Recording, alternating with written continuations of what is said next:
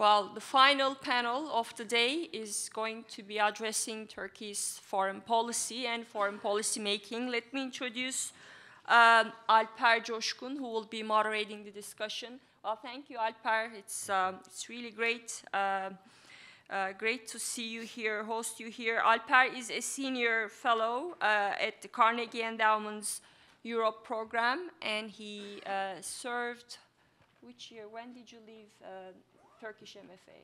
In 2021, I retired. So yeah, until 2021, he was in, uh, in Turkish Ministry of Foreign Affairs. Now he's with us, and he will be uh, moderating this discussion. Thank you. My pleasure. Thank you. Thank you. Welcome, um, everyone. It's very, very nice to be with all of you. We, um, we have a tough act to follow on from, from this morning and uh, this afternoon. We had two wonderful sessions but I think uh, we're also up to the task of making sure that everyone keeps engaged in the, in the afternoon. But we're lucky because we have an, an all-star cast. Um, you all have their CVs, so with their indulgence, with your indulgence, I will not go into the details of all of their accomplishments, which are many, uh, but I will uh, just briefly introduce them to you. Um, to my left is uh, Shafak Göktürk, uh, who is a, a, retired ambassador. He had three um, chief of mission uh, postings in uh, Egypt, in Norway, and in Singapore. Uh, he was my boss on various occasions, so I tread very lightly, as you can imagine, uh, and I learned a lot from him. He was one of the true points of references for uh, younger generation diplomats as we were reading his dispatches, particularly from Cairo in very turbulent times. We have Evren Balta uh, Hoca, who is from Özyeğin University.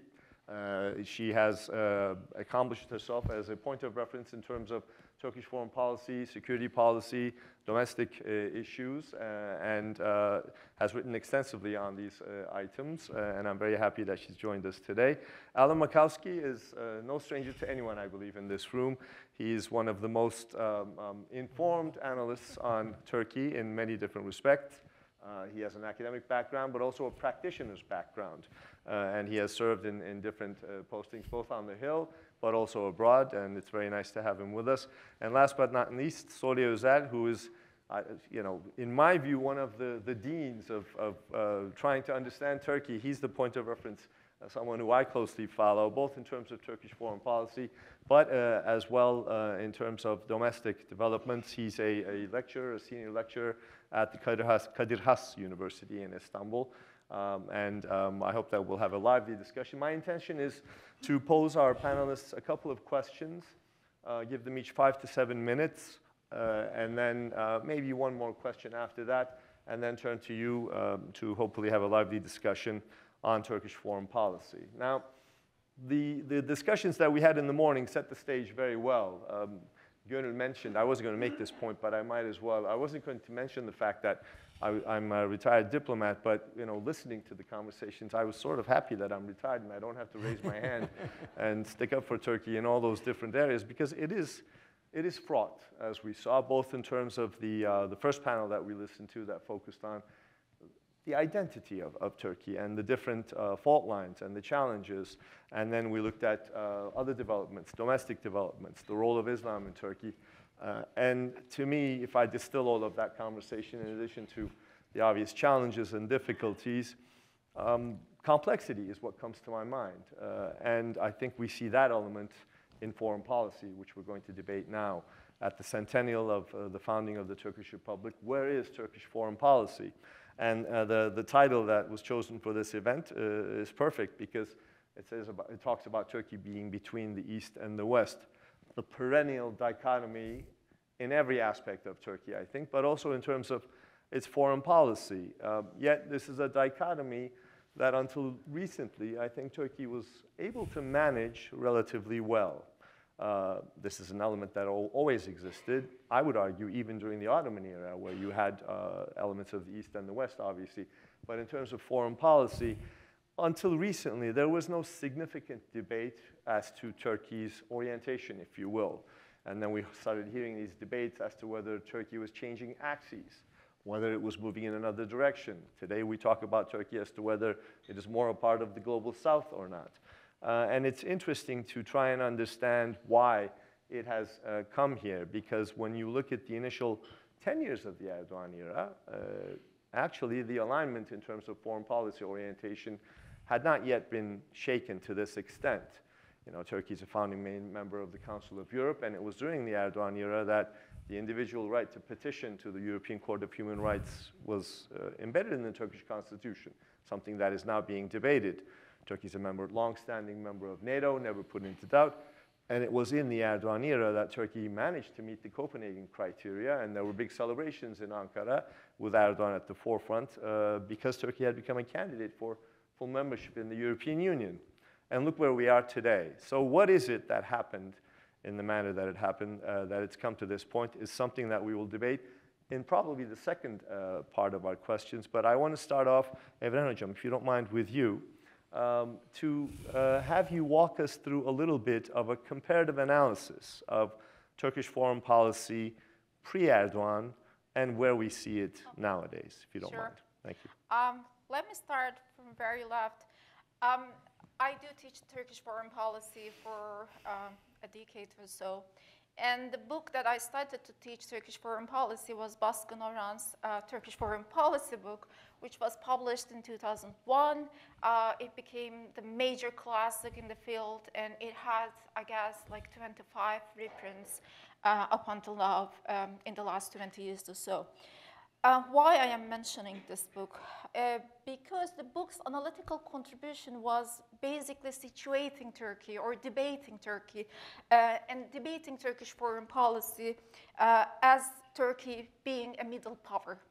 And the book opens up the debate around Turkey being a middle power uh, by uh, discussing or analytically defining what a middle power is. And it says that major powers provide order, the international order, either regionally or globally. And middle powers' ability or strength basically come from adopting or aligning to the system or to the order that, are, that is provided by the major powers. Um, and Baskın Oran continues by arguing that uh, middle powers have a bargaining power, but that bargaining power is only a limited power.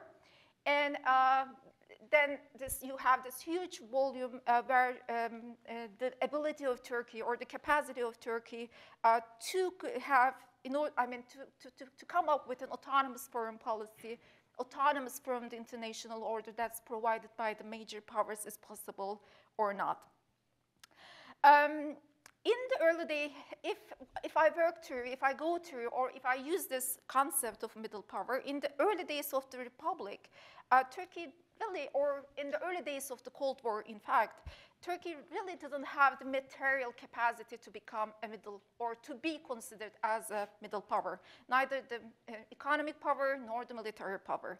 Yet, the strength of Turkey or the capacity of Turkey was its alignment or adaptation capacity to the international order, either through its strategic position or uh, being the buffer state between the Soviet Union and, and, and Europe. Uh, as a result of this strategic position of Turkey, it became a NATO member, as you mentioned, in 1952, uh, and thus became a member of the security architecture of the uh, transatlantic alliance. Uh, it was not just, Turkey was not just a member of the um, security architecture of the transatlantic alliance, uh, but it also has the aspiration of uh, becoming a democratic country or a member of the democratic uh, club. Multi-party elections uh, were, were, held uh, in 1946 for the first time. Uh, and, and, again, as you said, Turkey was the founding member of Council of Europe in 1949, ratified the ECHR in 1954, and the idea of catching up with the West um, both economically and normatively and institutionally, was pretty much ingrained into the um, ideas of the political elites of the Turkish Republic in the, throughout the 20th century. That didn't all mean that, I mean, um, throughout the 20th century again, that the geostrategic interests of Turkey and the transatlantic alliance were always aligned. Consider the Cyprus issue, for example. Um, the legacy of the Cyprus issue is uh, still with us. It still is a problem between Turkey and the EU. Even the recent Borrell report starts with the Cyprus issue as an impediment against the Turkish EU membership, as a, as a, as a condition even for the customs union. So it's still there. But this is, this is a long history, but let me stop, um, um, the, I mean, let, let, me finish the first part and, and um, compare it with the second peri period, or what happened In three minutes, afterwards. Please. What is it? In three minutes. In three minutes, of course, okay. So the Cold War ended in 1999, and uh, we discussed this in the morning. Uh, then Turkey became this uh, model country um, uh, for the post-Soviet political space from Adriatic to China Wall. This was something mentioned in the morning as well, uh, has become this, this motto of the Turkish assertive foreign policy. And the assertive foreign policy, what I'm trying to say that assertive foreign policy was already there in the 1990s, but it became sort of very different in the 2000s, and specifically after 2010. Um, the, the, the, I mean, the causes of this change um, is both external and domestic. It goes back to 2008 financial crisis, the role of the West in the international system, 2011 Arab uprisings, Kurdish question, coup d'etat, um, and so on and so forth. Many things happened in between. Um, and what we see in the last decade is that there's this emphasis and that's a debatable concept and, and, a problematic concept, but the Turkish governing elites began to emphasize, uh, put emphasis on Turkey's strategic autonomy. Um, and uh, the rationale behind the strategic autonomy uh, that is widely used by the Turkish political elites is that uh, Western alliance or the transatlantic alliance doesn't really provide our needs. Uh, it doesn't correspond to our needs, said. Uh, and this idea that Turkey being a middle power is no longer um, basically enjoyed by the political elites as well. Uh, the, they be began to refer Turkey as not a middle power, but a regional power with hegemonic aspirations.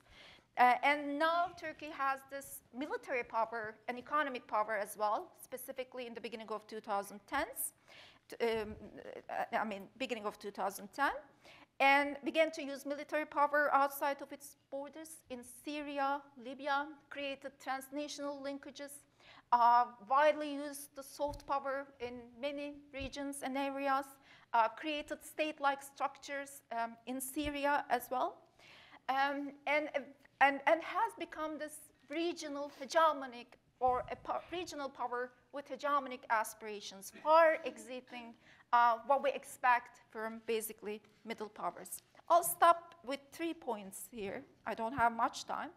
Um, this assertive foreign policy, I think, has three major problems, maybe more, but I'll just mention three. Uh, first, contrary to other powers, other middle powers who are enjoying in this period, in the exact, exact, exact same period, um, sort of autonomy, Turkey has, was all, still is a member of NATO and transatlantic alliance and transatlantic institutions. And that created, I mean, Turkey's quest for autonomy created fractures, problems within the transatlantic alliance and also for Turkey's foreign policy precisely for this reason, because you are still a member of NATO. And Turkey had these problems of, you know, like uh, sometimes felt it as a cage um, that really limits its autonomy and sometimes used it in, in, in favor of its national interest. The second problem, that Turkey's assertive foreign policy is really about this uh, change in the Turkey's identity. I mean, it really aligned with Turkey's changing national identity as well. Uh, so the Turkish political elites, governing elites, AKP, President Erdogan began to reimagine uh, the borders of Turkey through Muslim nationalist identity, something we discussed in the morning. And that coupled with the domestic polarize, polarizing dynamics of Turkey and foreign policy became battleground for, for, uh, for Turkey as well. So there were domestic challenges for foreign policy uh, orientation of Turkey. Um, and the, whether Turkey should be Western, keep its Western orientation or not, has become really a battleground, a domestic battleground for Turkey. And finally, um, the, the, final problem that Turkey had is the capacity problem.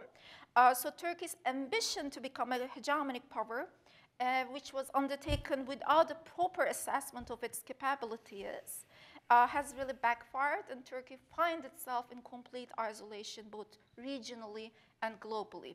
And what has been going on in the last three years, Turkish uh, political elites again, or um, diplomatic elites as well, trying to change this course of uh, becoming completely isolated, but we can discuss this uh, maybe later on or in the Q&A.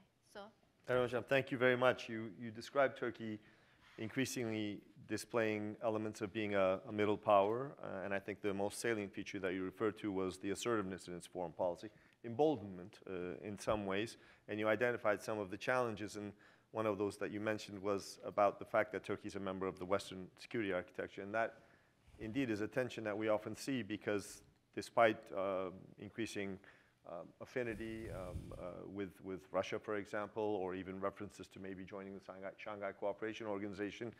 Within a matter of days or weeks, you see references to the fact that Turkey's been a member of the NATO alliance. Quite a confusing uh, picture. Soli, I'd like to move over to you, uh, if you don't mind, and, and ask you to pick up from, from where Evren uh, left off, but to also talk a little bit about the different sort of elements that have crept into the thinking and the, the, the application of Turkish foreign policy.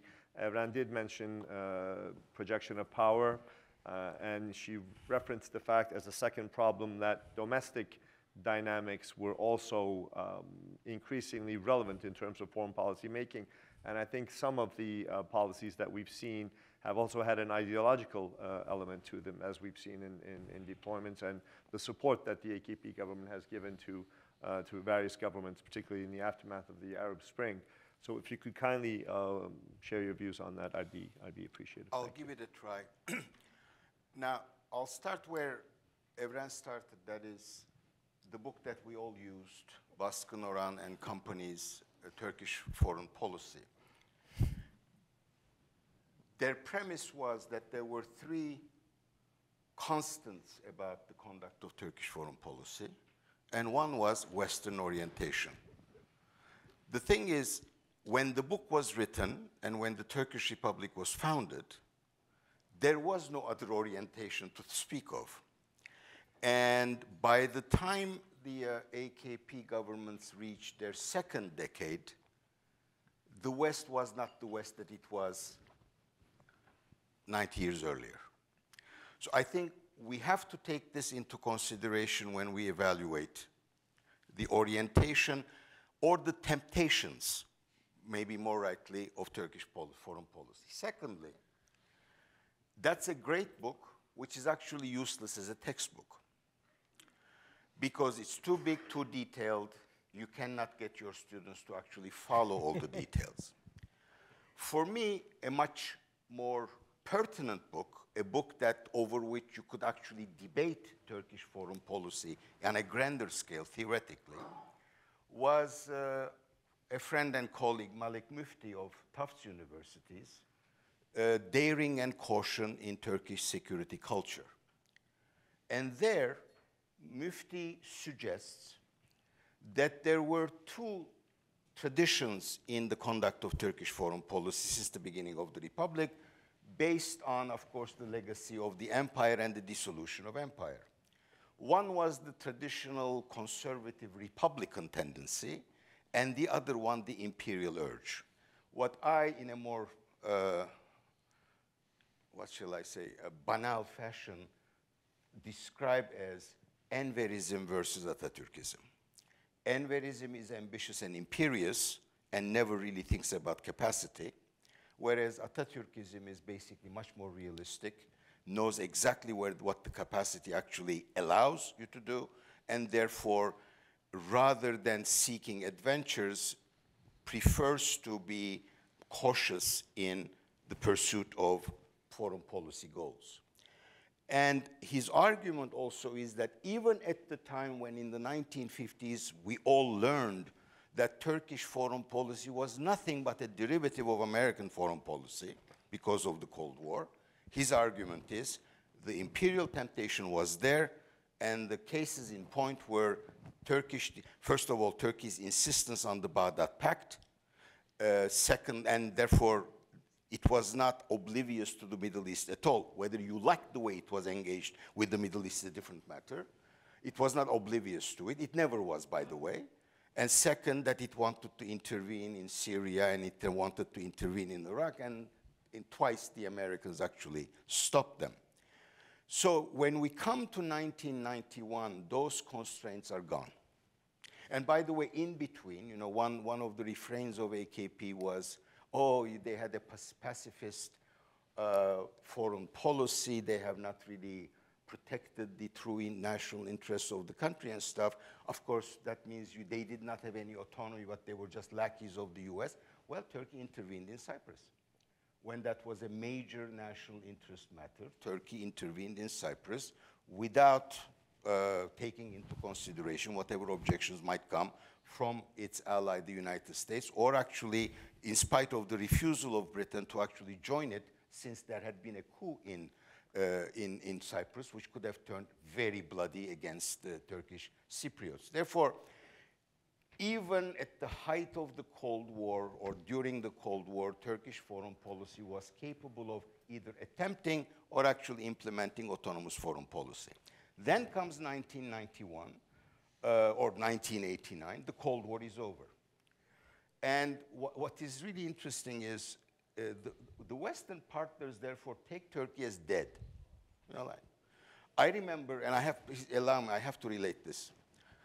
I'm sitting at home, April 1990, and the late journalist Mehmet Ali Birand, may he rest in peace, had this program called the 30 Second Day. It was a monthly program, something we were not accustomed to. He could speak to world leaders. And he was interviewing Larry Eagleburger, who at the time was the Undersecretary of State. And Eagleburger says to uh, Birand, says, you know, you know, the Cold War is over you really are not a European country. Maybe you should preoccupy yourself with the Middle East. I literally dropped from the seat I was sitting on. Years later, before he died, I asked Birand if I remembered it correctly. He said, Yes, you remember it correctly. Now, for me, the best neighbor Turkey has ever had is Saddam Hussein. Because every time Turkey found itself in trouble, he did something stupid and elevated Turkey. and then he invaded Kuwait, and everybody rediscovered Turkey. And then the, the Soviet Union disappeared, and then you had this vast space of what we now call the ex Soviet space that opened up with energy and Turkey some cultural or historical relations to it. And that's when what Evren said at the beginning, uh, new ambitions, the, uh, the, the Turkic world from the Adriatic Sea to the Great Wall of China, that idea, which resonated, of course, with the imperial tradition in the country, really began to take root in a country that believed, after having lost an empire, that it was not being given the chance to actually live up to its own historical mission. And as um, when, when the AKP came to power, the West was still on a high. You know, the history has ended. The European Union actually created the uh, rule of 21st century. The United States was unprecedentedly uh, powerful and unipolar world and whatever. And then a number of mistakes on the part of the United States have uh, followed one another. You allow China to join the World uh, Trade Organization, and uh, within eight years, China goes from being 3.5% of the world economy to about 13% uh, of the world economy. Please don't be offended if you are a supporter of the Iraq War. As, as uh, Talleyrand said, it was worse than a crime. It was a mistake. It was an awful blunder. And part of the reason why you don't get heard or you don't get believed in the world today has to do with the way you conducted or the US conducted or the Bush administration conducted the Iraq war. And then the icing on the cake came when um, we, in 2008 it was the United States that actually triggered the world economic crisis. And so when uh, the uh, AKP reached its second decade and the uh, Arab revolts took place, the West wasn't the West that it was. Uh, and new opportunities have opened up. And the idea was, okay, we are a regional power. with global ambitions. And this is truly, this is truly our moment. And until then, I think a fair argument can be and should be made that AKP's foreign policy prioritized economic interess. Turkey's investments and openings in Africa began in, in mid-2000s. Um, but with the uh, Arab revolt, suddenly dream, one dream of Islamists everywhere flared up.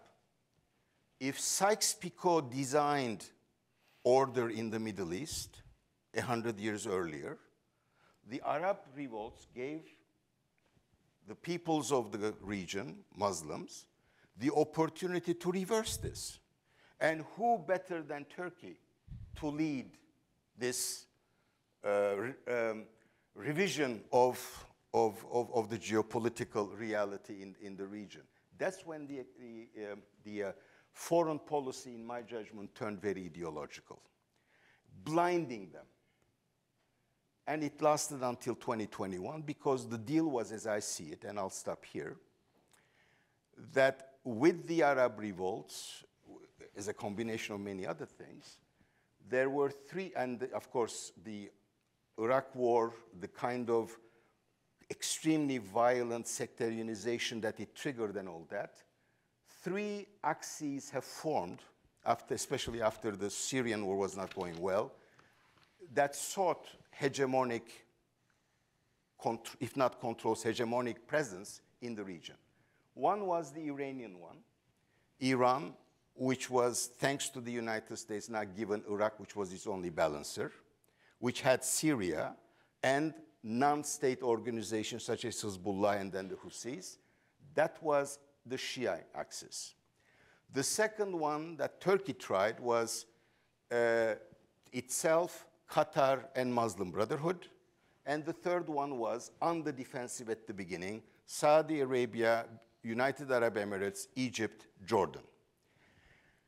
In 2021, basically, Turkey threw in the towel.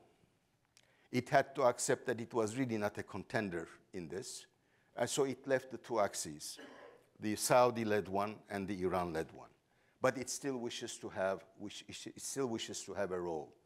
And I think we may be in the transitional phase of moving away from an ideological foreign policy, although it's very difficult to shed all its uh, influences, and to move towards a much more realistic, uh, perhaps, positioning. It's not that apparent, but for those of you who follow Turkey and who may have looked at your phones this morning, I mean, I was truly, I was, I, I was, um, how shall I say, I, I just admired it the president said that his friend, Prime Minister Mitsotakis, and he had a wonderful discussion. This is the same Mitsotakis that last year was dismissed as a non-existent person.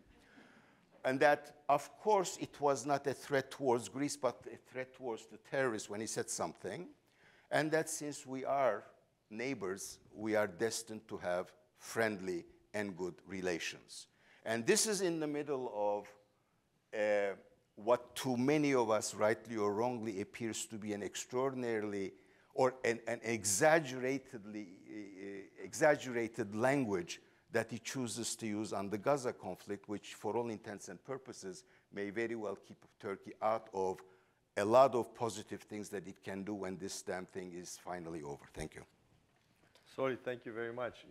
I was, you, you helped me a lot because uh, as a former diplomat, one of the things I've been struggling with is the fact that 30 plus years of uh, on-the-job training and the reflexes that I've gained from that no longer work nowadays. And I was trying to understand why, and I think that was a perfect, uh, very structured uh, explanation as to why things have changed. And some of the undercurrents that you spoke about, which are longer than the AKP, the imperial ambition component that you spoke about, I think it was dormant, but it was always there, is an interesting one.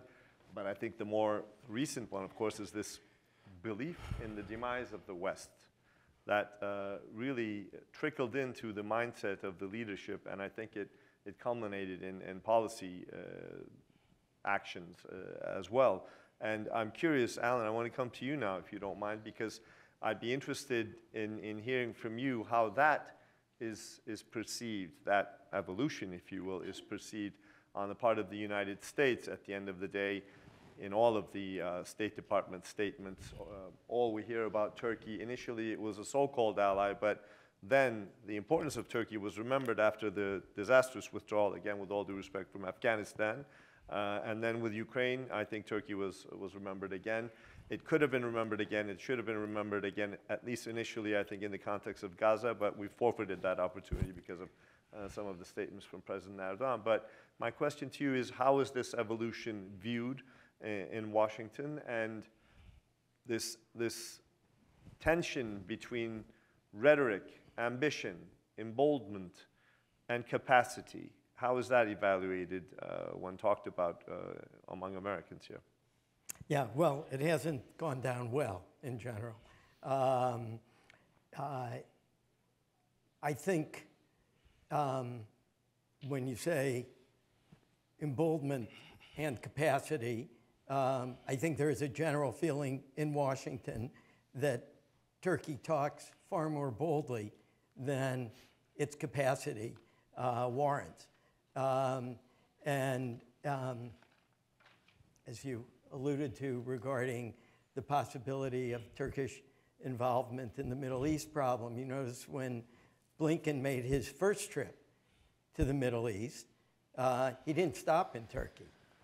Um, what did Erdogan say on October 7th? He said, you know, we can mediate.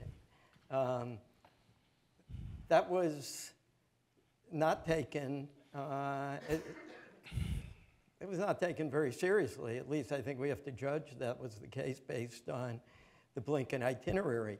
On his next trip, um, uh, it was a very strange circumstance. Um, Blinken uh, and the State Department did not really announce a Turkish stop. Uh, Blinken was already, Turkey had said Blinken was coming, but the U.S. did not present it as part of his itinerary until he was already, I believe, in Israel, and then he went and made an overnight stop uh, in Turkey, uh, where I believe, where my understanding is, well, I mean, I think we know Erdogan did not meet with him, which further dealt Erdogan out of the game. Now, um, I think you're asking me, though, more broadly, uh, also, how has the more assertive uh, Turkey uh, that a friend talked about. How has that been received in Washington? Um, look, I, I think it's, um, it's been a very problematic adjustment.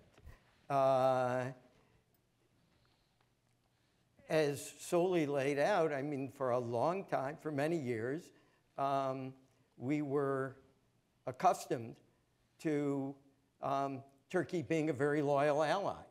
Um, you know, I remember all when I worked in the State Department in the 1980s, you know, all the encomia, the praise we would shower uh, on Turkey for being the most loyal, for not the most, but for being as loyal as loyal could be, let's say, was certainly the tone.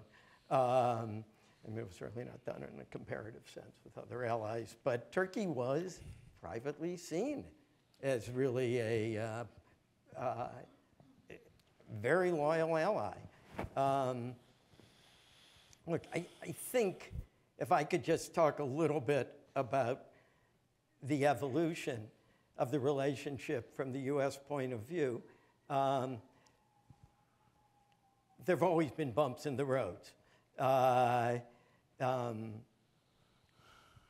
during, even during the Cold War, the 1964 Johnson letter, uh, when uh, the U.S. threatened that if Turkey intervened um, in Cyprus, that we wouldn't guarantee that NATO would protect it just in case the Soviets chose that time to invade. Um, uh, kind of speculation on speculation, and Turkey did not intervene in that circumstance, but was deeply offended when that letter became public.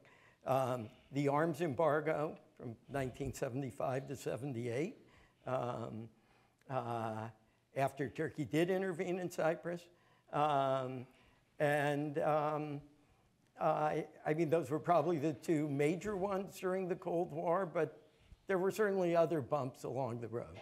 Uh, but for the most part, for the period of the Cold War, from the time Turkey joined NATO in 1952 until the end of the Cold War, there was a common vision and that sustained us. Even when Turkey moved into Cyprus, um, there was a common vision that there was a real Soviet threat, that the communists were a threat, and um, it had to be resisted and, if possible, defeated. That changed at the end of the Cold War. Um, and it's very interesting, the anecdote about Eagleburger. Uh, I can remember in the halls of the State Department, and I was actually at that point working on Middle East issues, not on Turkey, but you know, I had friends on the Turkish desk who I remained interested And I remember the Turkish desk officer saying to me, um, actually just after the Gulf War, uh, he said, you know, Alan, it's all over now. You know, um, Cold War is over, Gulf War is over, we won the Gulf War. Turkey's, we're going to go our own way. Um, and I think there were others who had a different strategic perception about Turkey's potential importance. And I give here uh, major credit to um, the late diplomat uh, Richard Holbrooke. Richard Holbrooke. And um, as well as Marc Grossman, who became uh, uh, ambassador in 1995. In 1994, I think Holbrooke set out what became the new organizing principle of US Turkish relations when he said Turkey, excuse me, Turkey is at the center of every issue of importance to the United States on the Eurasian continent. Um, that became it. It was all about Turkey's location. Um, uh, or as Prime Minister Yilmaz once said, location, location, location. Um, and the and you know indeed that was far-sighted. I mean, after all, where were our subsequent problems? I mean, to this day, immediate in the immediate Middle East area, Iraq, Iran, in the Balkans. Um, uh, you know, you go around the clock. Russia, of course, became once again emerged as a problem. The problem, though, with the Holbrookian um, formulation um, I don't fault him for this. I mean, I think it was intrinsic uh, to the times. He wanted to save the relationship, but it was very situational. Um, it sort of presumed that the US and Turkey would continue to see these regional issues in the same way, just as we had more or less been on the same page during the Gulf War, although Turkish opinion really was not, but Turgut Özal, the president of Turkey, was on the same page. And there was a feeling that the Turkish leadership would be with us. Well, over time, that change has, has been laid out uh, here. And um, I, I'm going to go over a lot of territory, uh, skip over a lot of territory. But, you know, as the Erdogan government came along. Um, well, first of all, there was the Iraq War of 03, uh, which, despite the fact that I personally believe from having, uh, I would at that point been able to be, because of my position working in the House of Representatives, was able to meet, be in delegations and met with him. Uh, I think he won it um, the parliament to approve uh, the use of Turkish territory by US forces to go into uh, Iraq. Not that he was a great believer in it for foreign policy reasons, but for certain internal reasons, I believe he meant it. Um, but it was a secret vote, and although it didn't get a majority, although it did, it got more yeses than nos. It didn't get an absolute majority, and um, it didn't pass. And that was kind of a slap.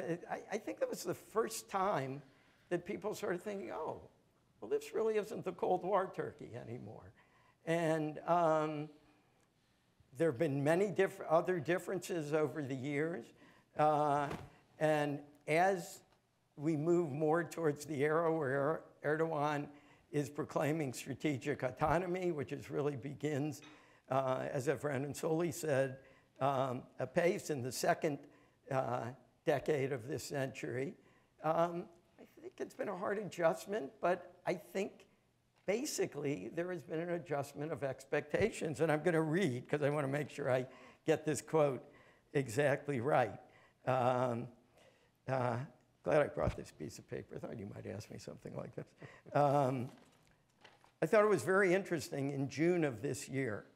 Uh, Jake Sullivan was asked uh, by Fareed Zakaria, Jake Sullivan, the national security uh, advisor, was asked by Fareed Zakaria on CNN, um, you know, what about this anti-American rhetoric that we heard the, from President Erdogan in the recent election campaign, which had just concluded with Erdogan's victory? Um, and, you know, Sullivan tried, to, more or less tried to dismiss that. He, he said, oh, you know, it's, um, uh, it's just politics, you know. They have these campaigns, you know, they're a democratic country. They have these campaigns. There's always a lot of anti-Americanism. Actually, he was being very diplomatic. This was, from my observation, far and away the most anti-American rhetoric I've heard in Turkish campaign. But then he goes on to say regarding Turkey, they're charting an independent foreign policy, but one in which we can have a constructive relationship with them. And that's a real, to me, that's a real downgrade um, of how the US saw Turkey for so long. It means, yes, they're in the alliance. Uh, we certainly want to be able to um, uh, cooperate when we can, but we know basically they are only going to do it when it's in their interests, not as not out of any loyalty to the alliance. At least that's how I understood it. And I think that's more or less where the perception is now.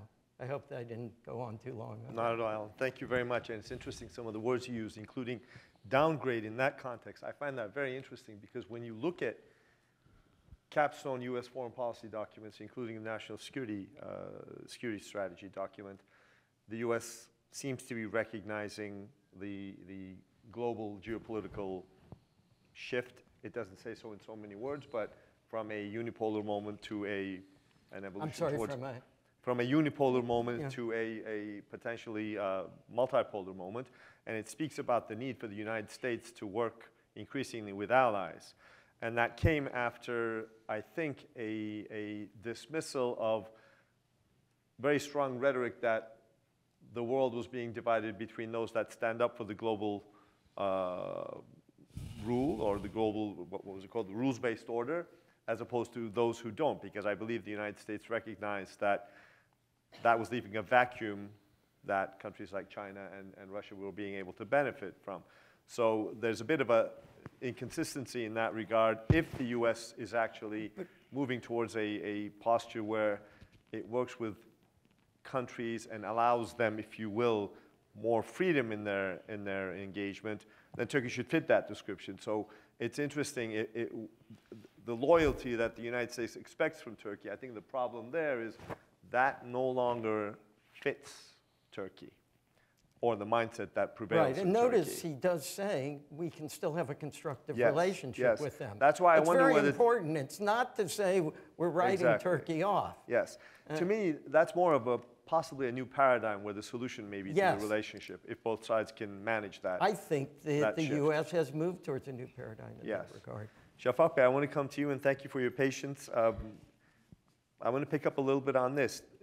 Another interesting concept that, that Alan mentioned, which I think is critical, is organizing principle. He referenced that in the, as, a, as something that's missing in the Turkish-US relationship, which I agree, but I think it's also missing in the conduct of Turkish foreign policy. And, and the example, for example, that Soli gave, the oscillations that we see rhetorically and in terms of of policy is a problem. And I want to come to you as a, a long-standing diplomat and ask you to walk us into the minds of the mind of uh, a Turkish diplomat, a career diplomat, who sees this happening. Because, correct me if I'm wrong, we were raised in the foreign ministry, not through education, but I think inherently, to believe that consistency matters.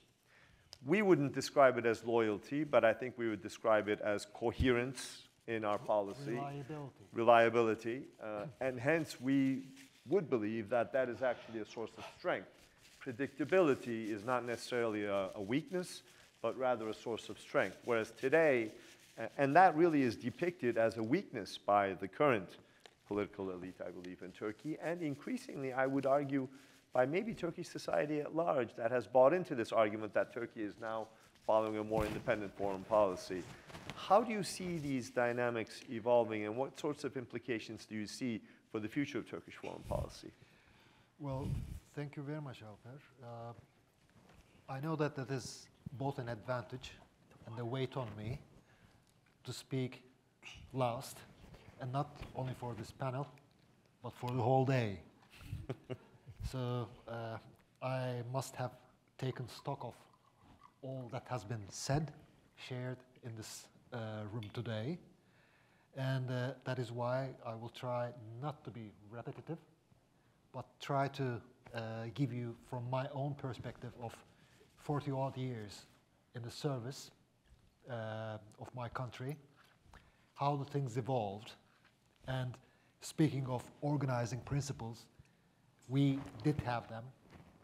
Not only us, everybody knew them and why uh, all this happened, we cannot anchor Turkey's foreign policy in, i- in one or another uh, specific way. First of all, let's go back to the genesis of what Turkish foreign policy is, was, or should be about. The Republican foreign policy is the antithesis of the empire. There was a clear break between the uh, foreign dealings of our predecessor. Politically, it was the will of the people that overwhelmed the self-assumed, assumed, sanctified power. This was the first clear break with the past. Secondly, historically, it replaced an outdated, discredited dynasty. Geographically, we acted on the National Pact, that is, defined, determined boundaries for realistic and realizable Turkish homeland. Nationally, it was conceived through a countrywide, c- countrywide mobilization for independence, for liberation. The National Assembly, this is a particularly important point in our national and state identity. The National Assembly became the soul of the nation. And it predates by a, uh, solid three and a half years the Republic itself, which it in fact proclaimed. So the National Assembly, that is the national will, is the mother of all uh, concepts that make up the Republic. Individually, citizen replaced the subject. These may not be important points in Washington because the United States also represents a much longer traje- trajectory towards a democratic uh, governance, which took centuries in Europe as well as in the United States. Mentally, reason replaced dogma, and internationally, and this is the basis of the Turkish foreign policy, sovereign equality replaced imperial domination. So any talk of uh, neo-Ottomanism or anything of that kind of uh, stuff falls within the category of a lost dream or is purely ideological. The problem for us but especially for people in the capitals like the United States, uh, uh, like Washington and uh, other major capitals, the problem is how to distinguish between what Turkey's own interests and natural trajectory is and will be, and how are you going to sort it out uh, under this ideological bombardment on a daily basis. So, what is Turkish interest and what is the personal choice or the subjective uh, political uh, inclination of uh, the current government?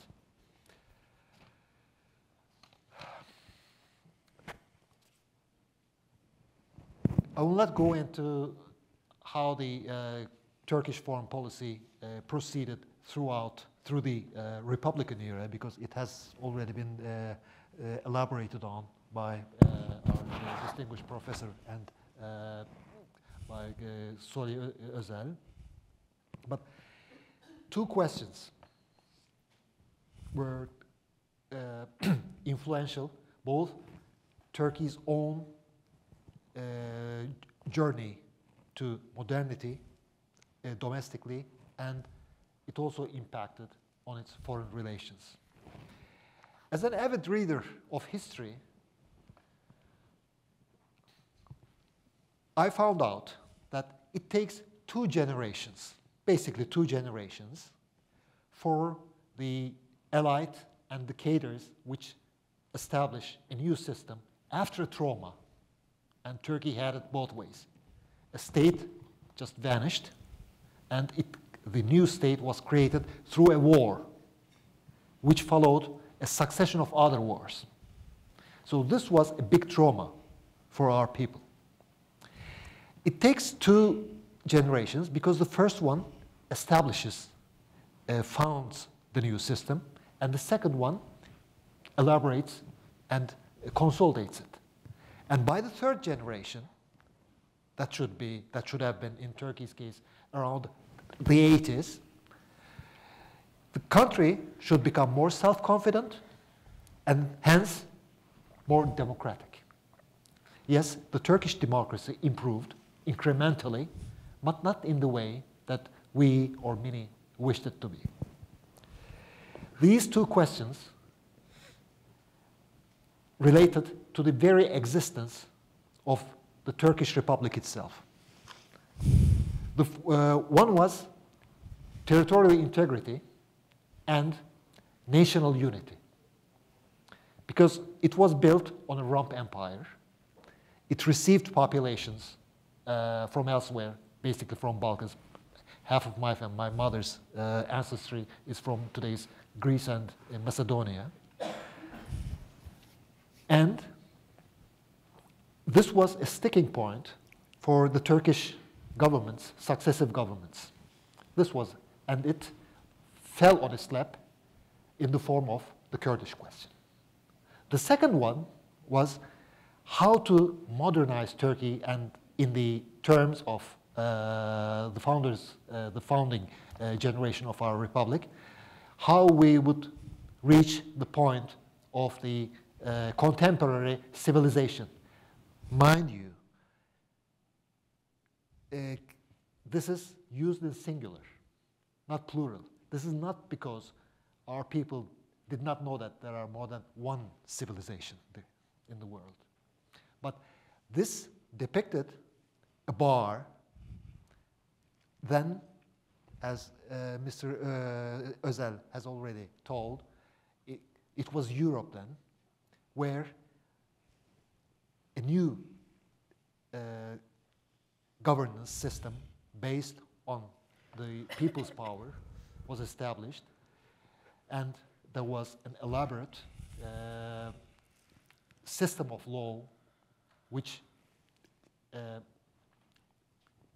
dominated, uh, ruled uh, the daily lives as well as the statehood of all these countries.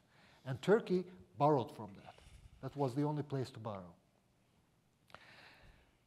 But, and this was important because it was about modernizing Turkey within an accountable uh, regime. And the main uh, nemesis for this process was seen as the old state structure, which was sanctified by religion. So they had an added sensitivity towards any religious injection into the uh, republic's legal, political, uh, and social system. And then the second uh, fear fell again on the lap of the republic in the form of Islamism. So there were two failures which uh, the republic had feared all along, and it came big.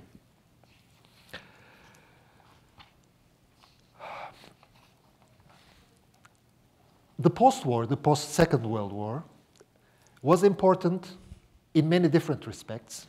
You can talk about Stalin's demands concerning our northeastern provinces as well as the Marmara Straits, but I think which made a more enduring impact regarding the uh, post-war outlook of uh, Europe was that uh, Europe, with the exception of the area under the control of the Soviets and the Iberian Peninsula, became a family of democracies for the first time.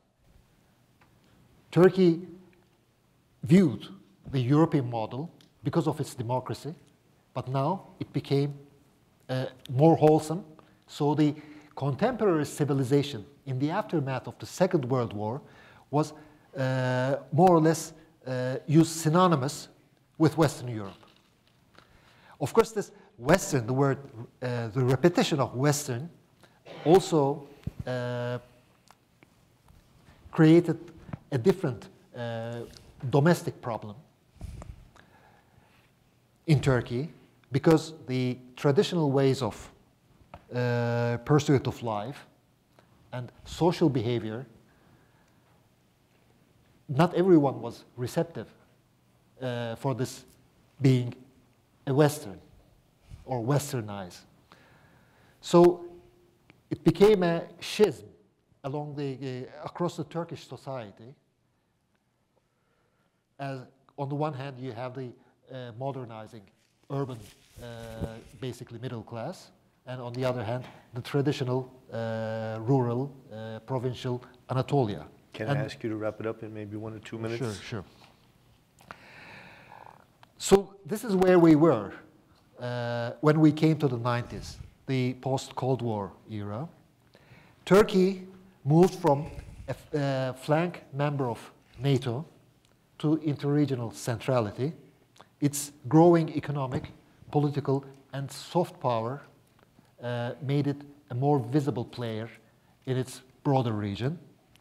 It set in motion the push and pull dynamics for Turkey. You could again see it in its entire neighborhood. And there was a global diffusion of power. The uh, uh, unipolar moment uh, was not that uh, obvious for, a, for a many different countries. And it was not as long as United States ever believed it to be. And the fourth factor, the growing regional cooperation and regional ownership was becoming a more uh, visible feature of the Turkish foreign policy. This was the point where the AKP came to power, and perhaps in my second intervention, I will uh, dwell on that a little bit. Th- thank, you very much, Shafak Bey. You, I think you weaved us through the intertwined dynamics and elements that feed into foreign policy thinking in Turkey from the early days of the Republic, in fact, prior to the establishment of the Republic in the form of uh, parliamentary role uh, up until today. I am going to forfeit my second round and go to questions, but before I do, and I will start with the lady in the back, but before I do so, I want to throw out two questions that I, I wish I, I, will leave with our panelists. They may wish to answer them or not, because I think they're relevant. We haven't uh, talked about those. One is about the changing circumstances in which Turkey, Turkish foreign policy is conducted, conceived, and implemented as far as institutional developments are concerned. And there are two dimensions to that, obviously, the transition to the presidential, the executive presidential system, whereby line ministries have really been sidelined. There are arguments that now with Hakan Fidan taking the helm of the foreign ministry, the role of the foreign ministry is increasing again, but be that as it may, I think it's rather limited. So what kind of an impact is that having on the conduct of Turkish foreign policy? And the second element to that is the personalized nature of foreign policy. Nowadays, you know, the, the big elephant in the room, will Turkey greenlight Sweden? I don't think anybody else but one person in Turkey knows the answer to that. So uh, that is a new element in Turkish foreign policy. If you can ponder that, uh, I'd be very appreciative. The young lady in the back, yes, please. Hi, uh, my name is Vedia Eidelman. Um, in foreign policy, we often talk about carrots and sticks. Um, I specialize in sticks. Uh, I'm a sanctions lawyer. um, and we can, we can argue about whether sanctions are efficient another day, but Mr. Özel mentioned that Turkey is not the same Turkey and West is not the same West. And this morning, uh, Professor White was uh, answering a question that came from the audience about why Turkey's not taking a stronger st stance against the humanitarian crisis going on in China against the Uyghur um, minorities. And Professor West was uh, Professor White was saying that um, it's uh, basically just showing cowardice because they don't want to irritate the Chinese. Uh, my question is, eh, this may be strongly worded, but it seems that that the U.S. is similarly showing cowardice in Turkey related issues. Um, for example, for the recognition of the uh, Armenian genocide, you know, a lot of people expected the US to recognize it as a genocide on the 100th anniversary. That didn't happen. One could reasonably argue that uh, the relationship with Turkey was a factor of that decision not to recognize it. Um, the purchase of a Russian missile system as a NATO member, they uh, sanctioned maybe like three individuals um, and nothing more. Um, human rights violations against women, LGBTQ, religious and ethnic minorities, and intellectuals and oppo uh, opposition politicians like Osman Kavala, Selahattin Demirtas, these individuals are still in jail. Um, the Gezi protests, like we, we, the, the US did not really show any sticks to Turkey in, in, in reaction to any of these um, occurrences, and I'm just really curious as to what your in, what, what your take is or, or insight is as to why. Is it because it can't afford to lose Turkey as an ally? Is it uh, going back to location, location, location? Um, because you know the U.S. doesn't seem to have a problem using, losing um, its relationship with other countries like Venezuela or Syria. So um, I'm, I'm very curious to hear um, your insights, especially, um, uh, sorry, Makovsky, um, Mr. Makovsky, if you could um, enlighten me, I would be very you grateful. Can call Thank me you so Alan, much. Sorry. sorry, trying to be formal. Thank you for your question. Are there any carrot holders? yes, please. It doesn't have to be a carrot. Any question you have, please. Hi, um, Larry Rubin, uh, professor um, Sam Nunn School of International Affairs at Georgia Tech. And my question, I have two questions. You can feel free to combine them. Um, one is more specific, Professor Özel. Um, you mentioned the Arab uprisings were kind of like an ideological opportunity for Turkey, and I was curious if there, if you and others might think about um, or comment on were there challenges in that way? Does Turkey see it as did Turkey see it as uh, the uprisings as actually challenges or threats to, to its um, position? Um, so maybe have others push back if anybody believes that. And the second one is, is really thinking about the decade um, after the uprisings. Would you consider, would you think that foreign policy changes were more a product of external or internal pressures? And I, I want to push you on one or the other because you'll probably say a combination of both. But anyway, thanks. Thank you. Evren can we start with you? Because I think I may have constrained your time more than I did to the gentleman. I'd like to make That's up for okay. that. Um, Discrimination. yeah. Um, okay, so pretty much the questions are uh, similar in a way. Uh, the question that you raised and the question that you raised um, about uh, changes or the systemic changes, domestic changes, external changes that Turkish foreign policy um, has been responding to, which, which kind of factors that the Turkish foreign policy has been responding to. I think these two questions are very, very similar, and maybe I can uh, somehow um, expand on that question. Um, but also your question about the Turkish foreign policy with regard to Uyghur problem and American foreign policy and the similarity between uh, American foreign policy towards Turkey. I think um, that if you look at what is going on in the world in terms of foreign policy making, what we have been witnessing is a rising transactionalism and interest-based foreign policy, not just in Turkey, but in the US, as you've been mentioning, but also in the European Union, which used to be this principled uh, actor in foreign policy making, more underlining normative principles, human rights principles, and this and that. In fact, every actor globally is changing and adapting um, to the um, to this systemic changing in the, in the global world order. Uh, I mean, it's a, it's a huge debate, of course, what's changing uh, globally.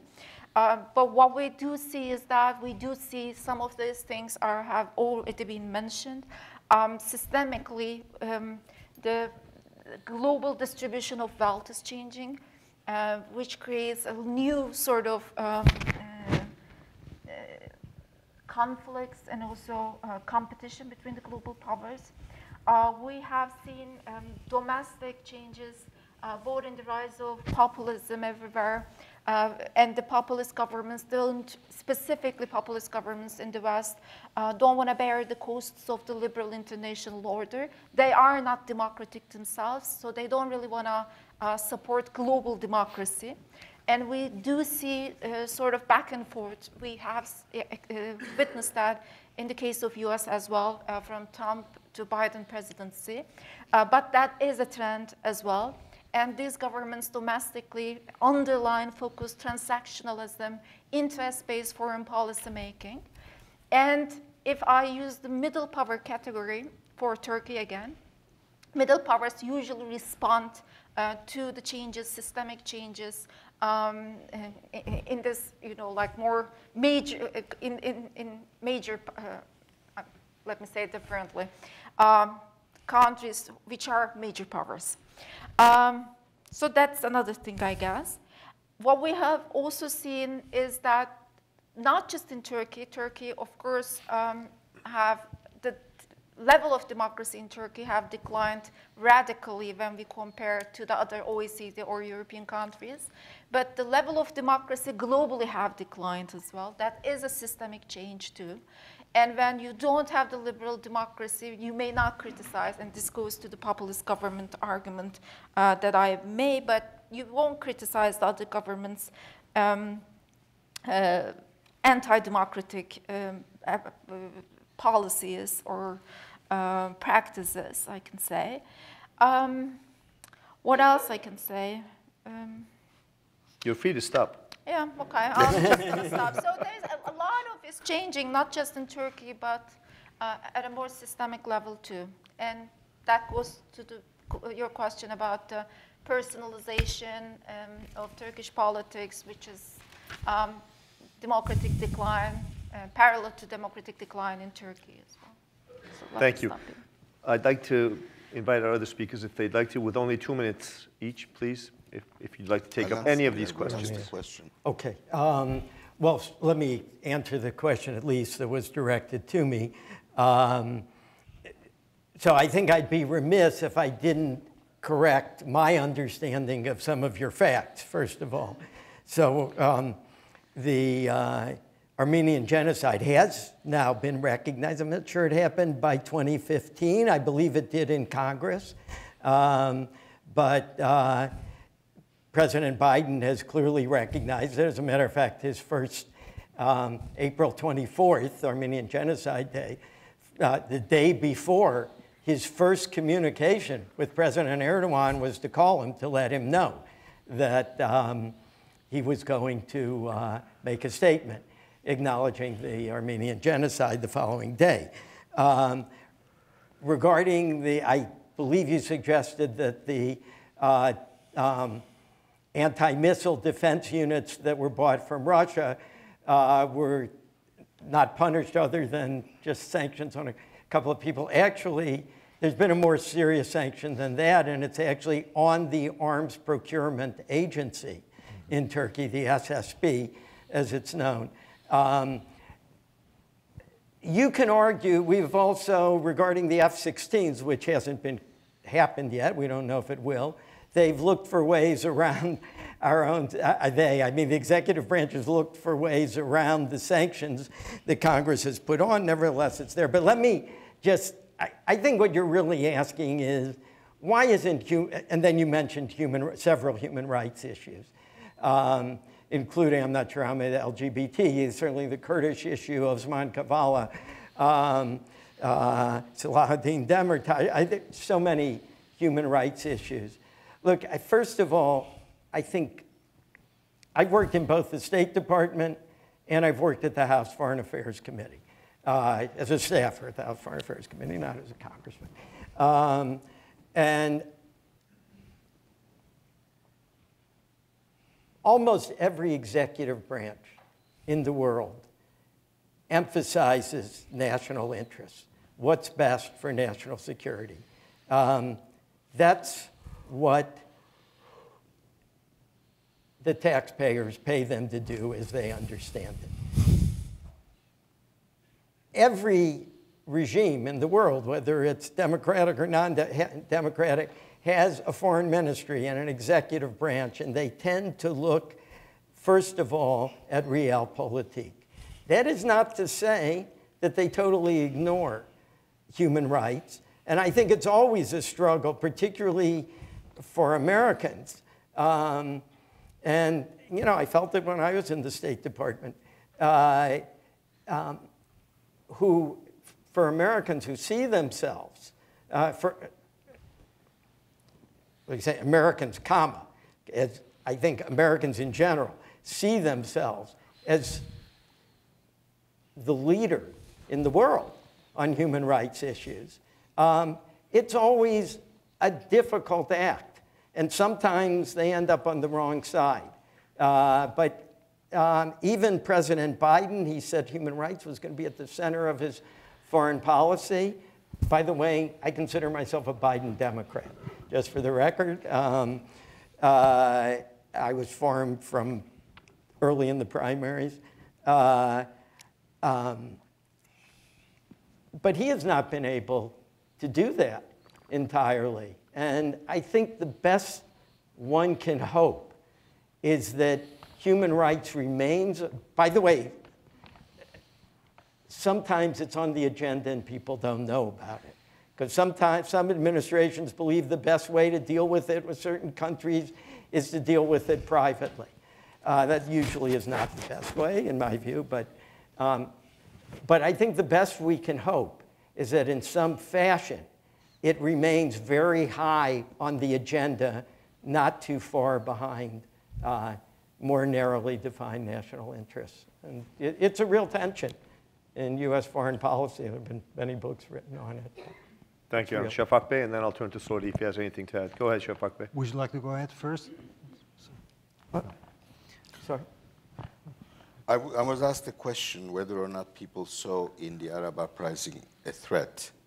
To the best of my knowledge, no, nobody did. I mean, that so to the extent that this was seen as Arab publics finally, and in my judgment, as part of a wave between 2006 and 2014, everywhere in the world, including the United States with the Occupy Wall Street and all that. Uh, everybody, and, and since our problem also was about democracy, uh, the secular part, for its own reasons, and the government, for its own reasons, actually supported it. The calculation for the government was they go to democracy, they will have elections. The only organized force is the Muslim Brotherhood. These are people we have organic links with, and therefore there will be a series of Muslim Brotherhood run uh, governments, and we, of course, are the jewel on the necklace and all that, and uh, that it would that, that Turkey would take Turkey would take the lead. And that's why, that's what exacerbated the ideological component of, uh, of, the, of, the, of, that, of that foreign policy. And, uh, you, uh, and whether, whether the political changes were fr- from the outside, no, the, the political changes all came from the top. And it's very, it's like, look, just this recent example. A year ago, you're canceled. Yesterday, you're my best buddy. Will the public say anything? No. We will just observe it. The thing is, I'm very happy that this changed. But uh, no, it all comes, um, it basically is uh, the will of uh, one person. As Alper Bey said at the beginning, we don't know when Sweden's accession will be cleared, and only one person in the country knows both what will happen and when it will happen. Please, Shafak Bey. Uh, to complement uh, the previous speakers, let me try to put in context very briefly uh, what the impact of the, uh, the Arab uprisings have been uh, on both the Turkish government and in Turkey, Turkey's domestic uh, policies. Uh, first of all, uh, starting from uh, 2009 in earnest, the government uh, began to move beyond uh, the structured frame of the Turkish foreign policy. Uh, the ideological intentions became more pronounced, and self-confidence over the uh, increasing, uh, increasingly uh, stronger control of other state institutions uh, bolstered their self-confidence all the while, uh, when the uh, negotiations with the EU faltered. The understanding, historic uh, understanding of history by the Turkish Islamists, that is the government and the leadership today, is an anti-historical one. It's a sense of sta- statehood in constance, in constant time, imbued in patriarchal, patriarchal religiosity. In their uh, view, Turkey is the modern time continuity of a constant past, present, and future, not a modern nation which has overtaken its past. The uh, 2013, when the uh, Muslim Brotherhood drive in a uh, range of Arab countries came to naught. For Turkey, there was a confluence of events. The uh, weeks when uh, Morsi was uh, told that his time was up uh, by the uh, Egyptian military and supported by the original owners of the Tahrir Revolution, we had the Gezi Park demonstrations. The government had already internalized the Muslim Brotherhood's uh, claim for power in their respective countries. And when that backfired, they took it upon themselves as well. And with the Gezi Park demonstrations, they said there must be a conspiracy. From within and from without, we are being targeted.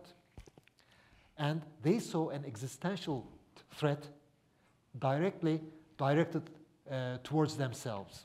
And they never recovered from that uh, syndrome, syndrome since. So uh, maybe this will be an answer uh, to the gentleman's question about uh, its domestic implications. Thank you. May I just add Please, something, just a couple of words in terms of uh, uh, Arab uprisings and how it changed Turkish foreign policy? And I do think that it basically uh, evoked two sorts of transnationalism. Uh, the first one was Kurdish transnationalism, uh, which Turkey sees as an ontological threat, and um, and then transformed Turkish foreign policy uh, or the, the, the way that Turkey dealt with the Kurdish policy or the Kurdish question became more geopolitical afterwards and became more integral to its foreign policy. That is first.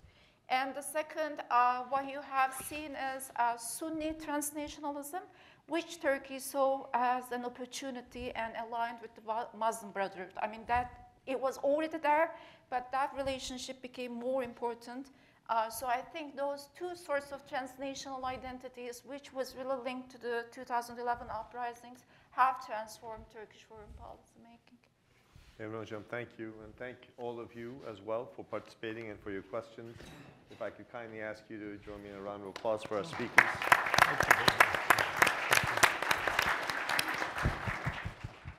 Well, thank you so much. Thank you, Alper and the panelists. It was a great discussion. Uh, we'll end it there. Um, once again, uh, thank you for coming, and let me also thank our my colleagues uh, at the Middle East Institute. They're all back in there, but they were the ones who put together this event. I'm very grateful, and hope to see you next year. Thank you too, guys.